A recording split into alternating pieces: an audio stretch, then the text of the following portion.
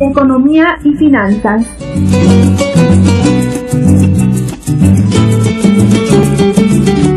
Por intervención nuestra, se logró la inclusión, la ejecución de nueve proyectos de envergadura con un presupuesto superior a los 106 millones 628 mil nuevos soles. Proyectos de ampliación de los servicios de salud con hospitales móviles en zonas rurales de Puno.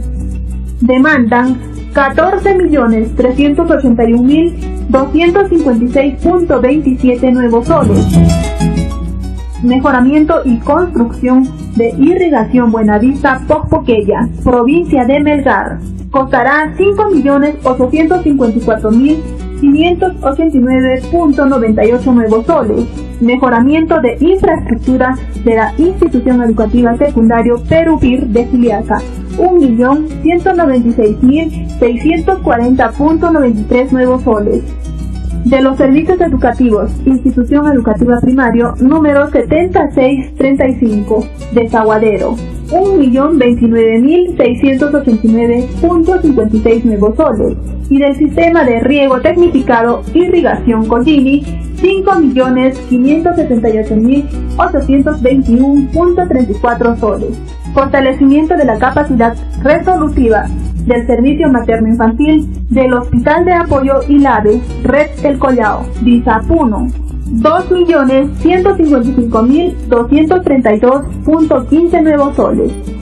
La construcción del Hospital Materno Infantil del Cono Sur Juliaca, 74.195.669 soles.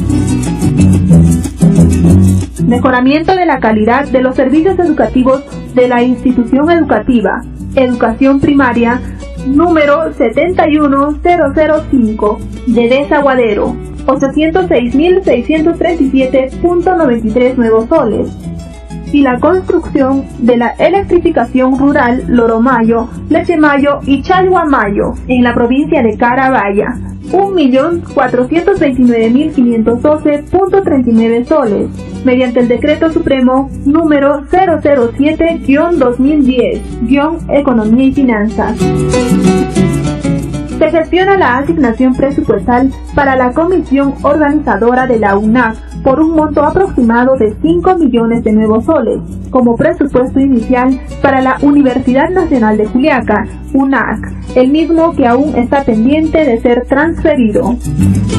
Asimismo, se gestionó presupuesto a favor del sector agricultura, con motivo de las emergencias, mediante transferencias presupuestales, como la que se realizó mediante Decreto Supremo número 253-2010-Economía Finanzas, por 2.292.000 soles, mediante Defensa Civil se arrancó del Ejecutivo, mediante el decreto de urgencia número 018, la transferencia de partidas a favor de la comuna puneña, una asignación de 1.5883 nuevos soles para la adquisición de 134 hectáreas, terreno donde se edificará la sede de Puno, el cual está ubicado en la localidad campesina de Collana, Llora, distrito de Caracoto, provincia de San Román, región Puno.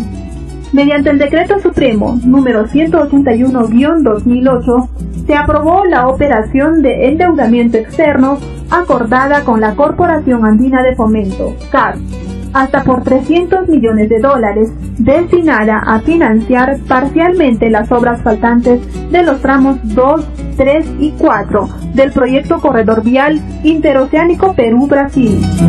Se logró incorporar recursos vía crédito suplementario en el presupuesto del sector público para el año fiscal 2009 por la suma de 772 millones 652.146 nuevos soles para el financiamiento del proyecto Corredor Vial Interoceánico Perú-Brasil, IRSA-Sur, mediante el decreto de urgencia número 025-2009.